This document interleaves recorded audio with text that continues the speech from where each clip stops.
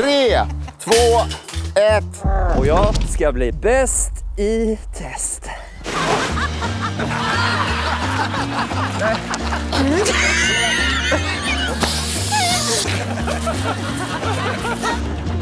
Alltså jag är dum i huvudet. Det här är också ett sätt att sluta sin karriär. Vad kul vi har ändå. Det har vi, det har vi. Och det här går ut i tv också. Min förhoppning är att jag ska kunna nå den från andra sidan och slippa förnedra mig själv genom att krypa ner. Bingo!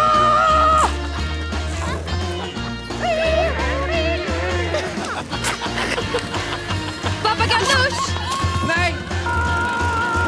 Vänta, vad ska jag göra med den? Ah! Det här kommer vara den största vändningen i Bäst i test historia om du lyckas vända det här. Bland det sjukaste jag sett, skulle jag säga.